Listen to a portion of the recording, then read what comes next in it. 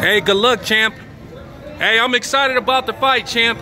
So, hey, what happened yesterday, champ? Oh, just handbags and done. That's all it was. So, who do you want next if you win this fight? See, we take it as it comes, you know. Just take it as it comes. I'm not focusing on anything apart from tonight. All right, thanks, champ. Thank you. Josh Taylor in the building. Good luck, champ.